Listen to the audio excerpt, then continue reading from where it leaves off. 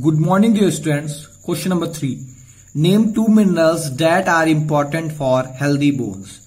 Name two minerals that are important for healthy bones. Answer number 3. Calcium and phosphorus are important for healthy bones. Calcium and phosphorus are important for healthy bones. Question number 4. What is the job of the spinal cord? What is the job of the spinal cord?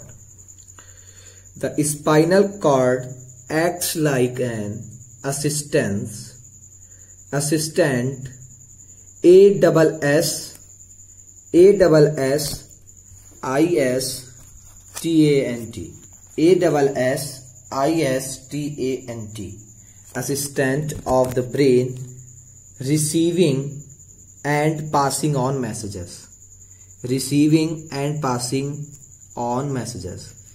The spelling of assistant is a double s i s t n t.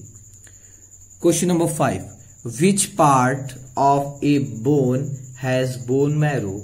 What is the most important job of bone marrow? Answer number 5 an inner spongy part. An inner spongy part of bone an inner spongy part of bone has bone marrow.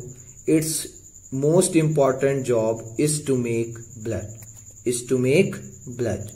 Again answer number 3 calcium and phosphorus are important for healthy bones. Answer number 4 the spinal cord acts like an assistant.